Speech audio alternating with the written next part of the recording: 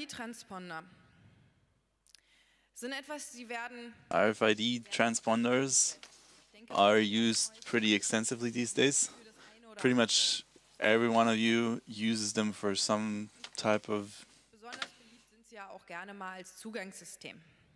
Uh, they're especially uh, Über den Hightech popular as access control systems.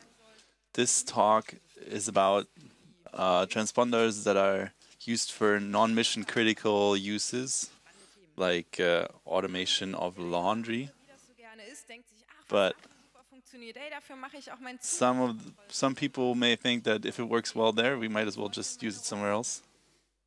Das ist natürlich ein bisschen mutig. Well, that's kind of daring sometimes, but Unsere Speaker hier gemacht haben, our speakers dieses Thema angreifen können. had a look if they can attack these system or transfer the knowledge they gained from attacked systems that have been broken in the past to new ones and they will show us why it's a bad idea to use the high-tech as for access control systems. Heißt sie willkommen mit einem schönen So give us a welcoming applause for our talkers, Ralf Spenneberg. Ozan Cicek,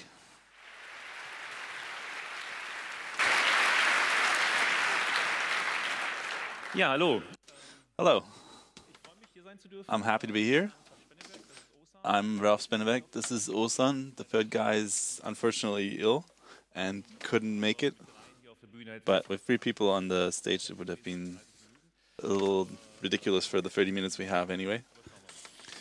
So let's have a look.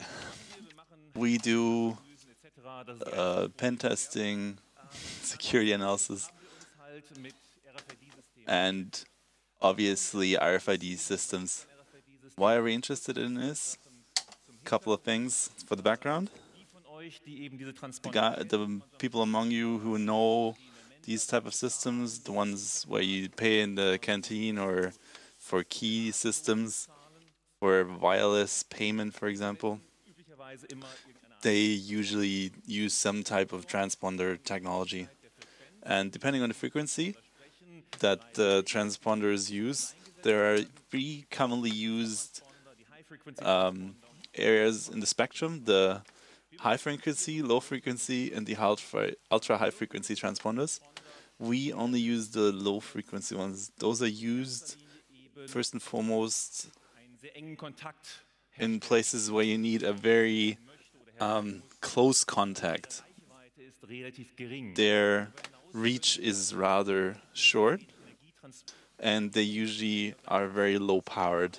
So you can even, if you have a passively powered transponder, then you cannot do a lot of calculation, for example. This may be different for high frequency transponders. With the low frequency transponders, you can only solve this problem by using an active transponder that has its own power source. Low und High Frequency werden eingesetzt in Schließanlagen. Da werde ich am Ende nochmal wieder drauf Low and high frequency transponders are used in uh, uh, access control systems, for example, for doors. wenn ich also eine Ultra high frequency ones are used for um, systems where you need a very high distance that you can bridge, for example, in logistics. äh, High frequency is usually libraries, laundromats. 20 Kilohertz Transponder. Es gibt The High-Tech S is a 125 kilohertz transponder. There's three different varieties: the 32, 256, and 2048 bits. verwendet einen 8 There's a authentication mechanism built in. It has a 48-bit key, and the password is 24-bit. That's obviously easily to decrypt. Transponder gespeichert wird, mit dem der Transponder This password is saved in the key itself, with which the transponder can identify itself. And it uses an undocumented uh, decryption cipher. It uh, it uh, it is unbroken so far as we know, or at least it counts as such. And we looked at it and we knew of a broken system and tried to transfer what we learned there to this high tech S. Well, why did we do it? In our own building, we had an RFID access control for the doors, and it was used in. It was built in 2007, and we always had a bad feeling about it. And we thought about it for a while, and ziemlich böse böse gebrochen. looked at it and we actually broke it pretty bad. Told the manufacturer about it and they actually fixed it for the January 1st, 2016, and will uh, publish a paper that details what exactly was broken and what they had to fix and how we broke it. zu warten. Wir haben dann nach einer Alternative gesucht. So we looked for an alternative and looked at other access control systems from other manufacturers, Hat eben unter anderem die Tatsache, dass and noch nicht gebrochen gilt, the manufacturer also uh, advertised the system as unbroken so far because it had the high tag. Well, let's talk about the access control systems for a start. Um, there's two different types, online and offline. mit einem zentralen Server. The online one is you basically touch the, the key, it sends a signal to it, and the the uh, the lock actually communicates with a server and nur die Identifikation tries to identify you. Here you only send some identification number, and that is used. kaufen kann, dessen So basically, all you need to do is you need to send this uh, this ID, and the manufacturer guarantees that this ID is unique.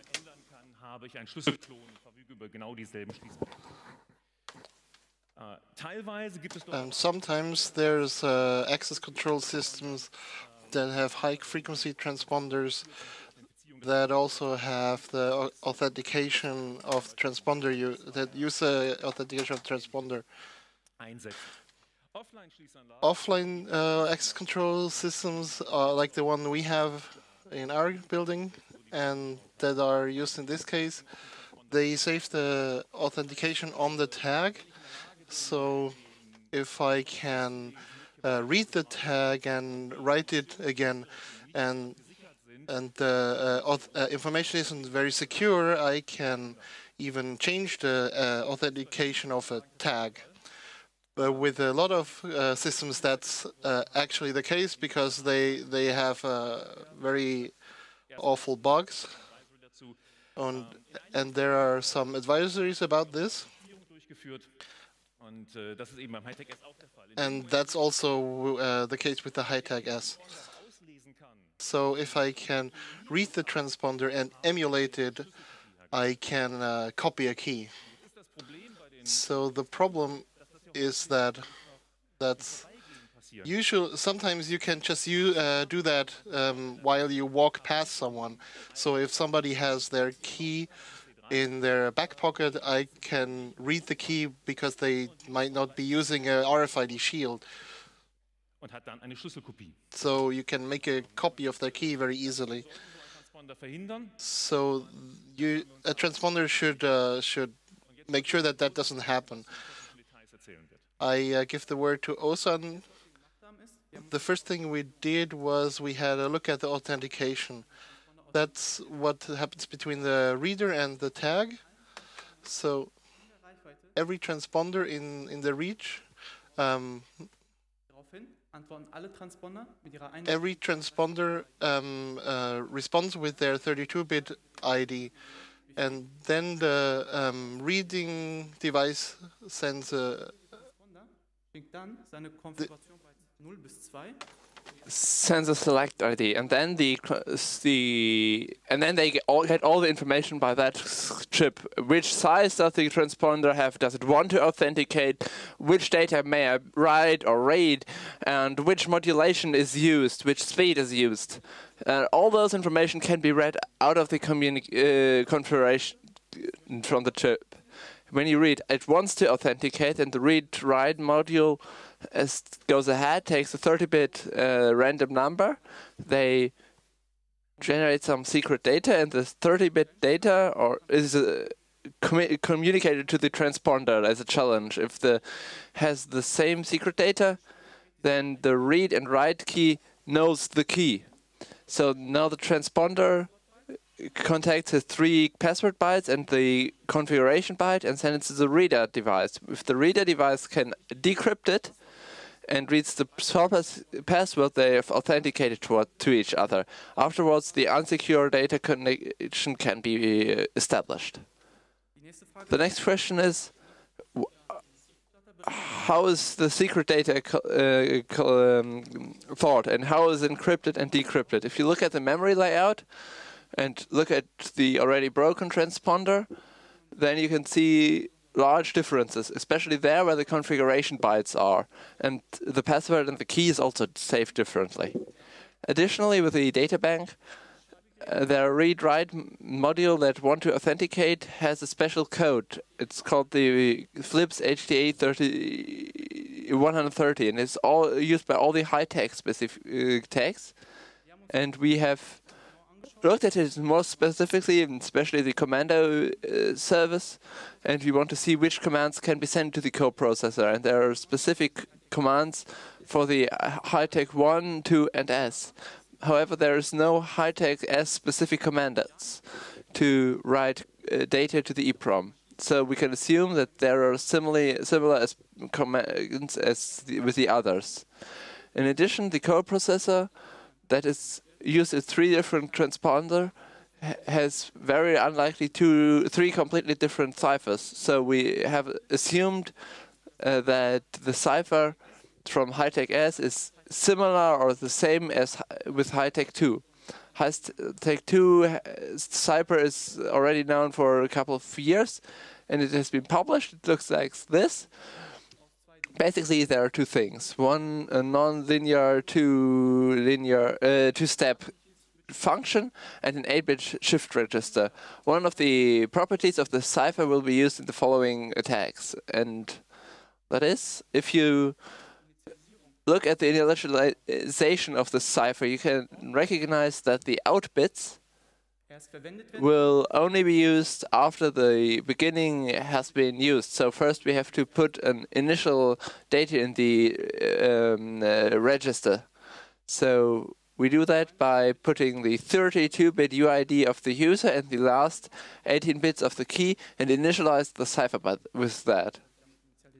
So the shift register is initialized with that, and it's shifted 32 times, and the last place on the right is always updated. And when I have 60 bit of the key in an 18 bit shift register and shift 32 times, they will not fall out in the initial uh, situation. They're still in the first place. So what they've done in this cipher, they've used the Proxima, that is a tool, RFID tool, and we have uh, implement the HTSF cipher with this cipher, and we have created an a transponder in the motors with a key we know, and then it was possible to authenticate as a high-tech S system. So that's we know. Now we know that it's exactly the same cipher. Für das gleiche verwendet, der Cipher an sich. The cipher wasn't used for the same thing, but it's the similar. It's the same. So f- in the first of all, we need some hardware. So we have the Proxima 3. That's a, Uh, a general-purpose RFID tool, so it can do low as well as high-frequency RFID chips. And we have some software for that. For example, a reader and a write device, and an emulator to to look if we want to have broken a key to emulate a transponder. So, for the the first attacks, maybe there is the possibility of a relay attack. If you remember, in the authentication, we only have one random number, and that is dis- uh, decided upon by the read-write device. So, if an attacker reads the complete communication, for example, with the product mark, he can send the challenge uh, code again to the transponder, and the transponder just answers. natürlich als Angreifer Because as attacker, I can just can't decrypt his um information in, in this password. But with this simple re attack, I can run the same the same codes as a read-write device. Then, Ralph has talked about it before. Technology is a bit crazy. Brute force attacks. It's an 84-bit key. The cipher is not really complicated. If you put in a couple of servers, you can calculate the key within a couple of weeks. Another attack, and that's an attack, especially high tech 2, and it's run in gun in 360 seconds. To in 2012 and it has 120 challenges. And if once I have them, I just need five minutes for the attack. It's just a mathematical calculation, and it uses a different uh, issue of the cipher. We are not going to talk about further. And then there is a more design issue on their side. Uh, you can, if you look at the configuration bits, there are three bits that are especially interesting. The out bit, if th- in that case the uh, transponder wants to authenticate, if the LCoon print, the LCoon cannot be changed, and lock key and password uses uh, the key uh, protects the key and the password from reading and writing, but you can choose them differently. So you can send transponders that want to communicate, but they also want to protect the assertions, but you can change the configuration with, and the configuration, the transponder is not protected for that. About that, for that. Another possible attack that's especially effective is uh, the set solver. Set solver with like CryptoSet or Miniset is mathematically optimated algorithms that try to solve solutions, that try to prove the um, satisfiability. And with the example here, uh, a set solver wants to try to find values A, B, and C to make it all true. The set solver originally come from the uh, electronics, but I can solve many solutions by that if I can change the problem into a formula. And that's exactly what we want to do. We want to say, hey, this is the uh, set solver. Please build a formula and solve it. So first of all, before we start to create the formula, we need the key stream bits. How do we reach them? The first, the easiest thing is the easy data are the first 32 bits negated. So if I negate them back, I get the first 32 bits. Then the con2 is sent encrypted and not encrypted. So if I XOR them, I've got the next 8 bits. So I can, per authentication, get 40 key, bit, uh, key stream bits because I want to know the initial uh, state for 84 bits with which I can calculate these bits. And the fewer bits I have, the higher the uh, the probability is that the original state is wrong. The high-tech 2, that's not a problem because also the data communication is encrypted. I get much closer than 40 bits. How do we solve that with the high-tech S? We take two ciphers, so two different encryptions, and read the keystream bits out of that as mm, above. And we always try to find the initial state for that. And then we use the options from the uh, slide before the initial state of the uh, 16 first 16 bit from the key and if i authenticate twice there is no change. And you always say hey the first initial states are the same in the first 16 bits. This formula is created and the set solvers solve it usually within five days and the result is initial state. So 16 bit of the key. So how do i get to the rest of the data the key is 84 bits. I only have 16 of them. Well, brute force. The other 32 bits are not that large. And on the other hand, I can also do a rollback. What's a rollback? Well, uh, the initial state is the state of the initialization, and in the initialization there are three parameters: the random number, the UID, and the key. So I know the result, uh, the UID, and the random number, and so now I can calculate the only one that's unknown with the XOR. So I calculate the previous state with the uh, and get another key, and that's immediately. There are 32 operations, and once I have the key, that still doesn't mean that I have the can read all of the transponder because there are some. Uh, there's a bit that protects a key and the password. I do know the key, and the password was encrypted beforehand, and it was run encrypted in the authentication. den Key kennt. and know the key. Wenn ich natürlich jetzt den kompletten Inhalt des If I have the complete transponder, kann ich so ein I have the, the complete transponder, then I can um, emulate the transponder completely. For example, in the with this Proxmark 3, or you can also build your own thing. It's pretty simple actually. So you need the the traces. Um, you need to collect the traces. You have to break the key with the set solver, and to to read all of the things from the transponder, and then you can uh, clone the transponder. Okay. That means if I have a access control system and that uses this high-tech uh, transponder, that means you somebody could possibly, uh, for example, while I plug in the key uh, into the lock, or, or if I have the transponder in front of the reader, they could read the authentication um, challenges while I do that. So, for example, uh, with the with the set solver, you need two um, uh, challenges or 150 for the cryptographical uh, attack. That means uh, you probably need uh, access to the to the reader to get all the 150 challenges. But that means that I could break the key that's used by this uh, this tag, and you can not only read the key, but you can also read all the other data that this key has, and that means I can actually create a clone for the whole key. And so, if uh, if the other data on the key is not uh, properly secured, that means you could possibly um, extend the data and change the key to be one of uh, of the master keys that can access the uh, more rooms. So we looked around for for uh, other systems for low frequency transponders, and most that we saw, all, all that we saw, were already broken or uh, they used um, they use systems that are as easily broken as the as the ones we talked about. So the problem is that low frequency transponder don't have enough energy to use secure um, systems. So that means if you want to make a secure access control system, you need high frequency transponders. High frequency transponder doesn't mean that the that the system is secure.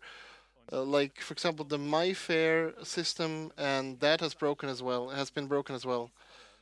So if you support the Desfire system, you can still use the MyFair Classic system, so they the systems are backwards compatible. So these are broken already. So if it's been um, in access for, uh, in uh, in operation for eight years, it might still support the old standard. So the modern systems can be secure, but they don't have to be. So we looked around which um, which vendors actually use low frequency uh, or even the high tech S system, and a lot of them seem to do that. But that doesn't mean that uh, if your vendor is on this list that your system is necessarily uh, broken.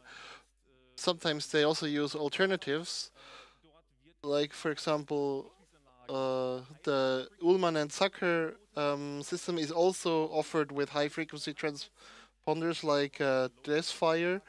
But if you bought the low frequency um, system, if you bought the low frequency system, you can only use the high tag uh, tag, and another one that is also uh, very insecure. And for the other one, the cloning of the transponder is actually trivial.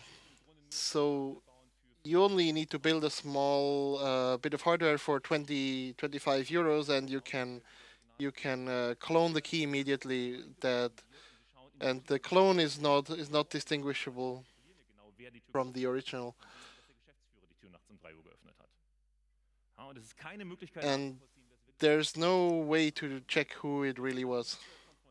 So if you if you talk to the vendors and you ask them how they can sell something like that, then they'll say, "Well, this has been it's seven years.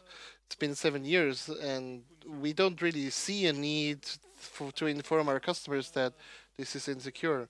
Or they answered, they answer, "Oh, we never said that this is secure. We don't do security. We do only do access systems." and then you go and look on the on the website and look for the word security and unsurprisingly it doesn't even um, exist on their website so the question is now did the vendor kn- know this for a long time and they just uh, never told anyone I mean, the question is where are all these systems deployed? Uh, hospitals, schools? Are there any questions? Um, thank you for your attention.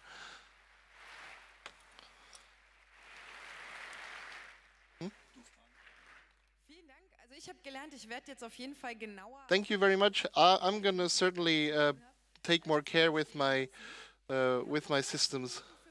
We have five minutes for questions. If you have questions, please go to the to the microphones.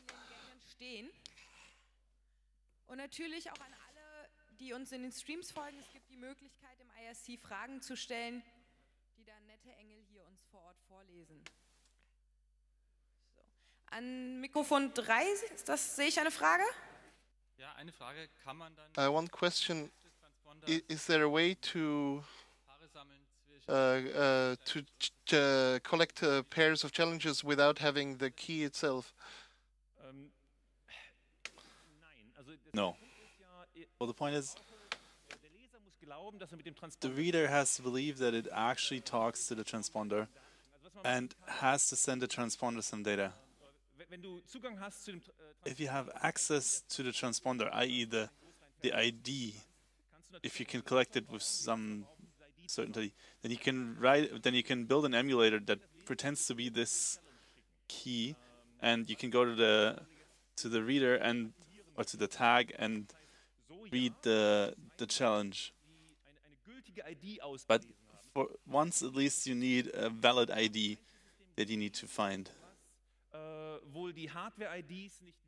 Well, we actually found one system that actually didn't even das arbeitet ein bisschen uh, anders. Also da, da collect the IDs internally. You can probably just use any ID, but that's only one system. Frage von Mikrofon Nummer 5 da hinten. Ich habe zuletzt CT gelesen. I, I read the CT magazine, and there was a, an article uh, about Mercedes that are open via relay uh, attacks. So, for example, somebody is driving by uh, the streetcar, aber trivial einfach mit dem Transponder. Well, we didn't try it, but it's trivially easy with the transponder. so there's no timing attacks. Ja, meine Frage ist, werden Sie die Proxmark so Um, will you release the Proxmark software? Teile davon, ja. Yeah, I believe. Yeah, at least parts of it, but yeah, I think so. Äh, NXP ist übrigens, also NXP ist der Hersteller dahinter. Ursprünglich hat Philips das Ding Well, gebaut. NXP is actually the manufacturer behind this, and they have been contacted by us by four or five months ago. We didn't get an answer, and then we repeated the contract maybe 40 days ago. NXP knows about it, and they contacted their customers.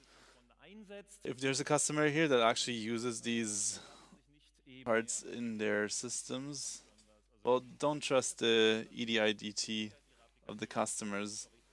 If it's critically important for your application, then your application is broken anyway. Ähm, Schließsysteme nebenbei bestehen häufig aus 500.000 oder mehreren Schlössern und so 10.000 Transponder. Die Well, just to, just as a fact, these uh, locking systems actually depends on. F- uh, they're they're actually made up of about five hundred thousand um locks. Kommt noch eine Frage aus dem Internet. Gut, für eine haben wir noch Zeit. Bitte. Ähm, könnte man, wenn man äh, Could you, Kommunikation aufzeichnen will, um, if you record all the co- communication, could you actually use um, sound uh, uh, sound interfaces for this? keine Ahnung. Actually, I don't know. Never tried. Well, we used oscilloscopes. übertragen wird. Ähm, aber wenn, da, wenn die Soundkarte die 125 Kilohertz If the sound card is good enough to resolve the 125 kilohertz, then it's probably possible. It'll be doable. dann eben ein wenig mit, den, mit der Modulation ähnlichem beschäftigt. You probably have to look at emulation. It's probably not easy, but yeah. Dann nochmal einen herzlichen Applaus und vielen Dank für Okay. den wundervollen Talk. Give us an applause. Thanks for this talk.